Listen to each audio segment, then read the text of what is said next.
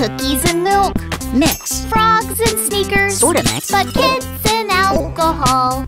Don't mix. Let's take a closer look at the central nervous system to see exactly what it does, what alcohol does to it, and what that does to you.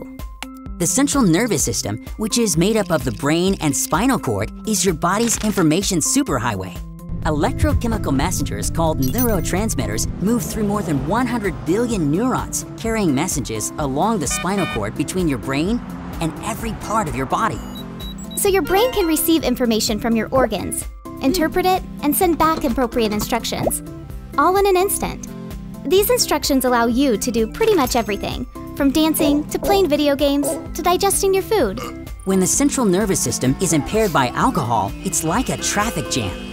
Nerve cells in the brain are becoming less excited, which slows the flow of information to and from your brain.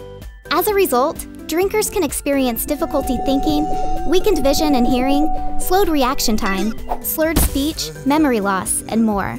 Just how much does alcohol slow down the central nervous system? That depends on how much and how fast you drink, whether alcohol is mixed with other drugs, and personal factors like the drinker's weight, gender, and genetics. As a young person with a still developing brain, alcohol can have a stronger effect on you than on adults. Learning the facts can help you make healthy decisions. So say yes to a healthy lifestyle and no to underage drinking. To learn more, visit asklistenlearn.org.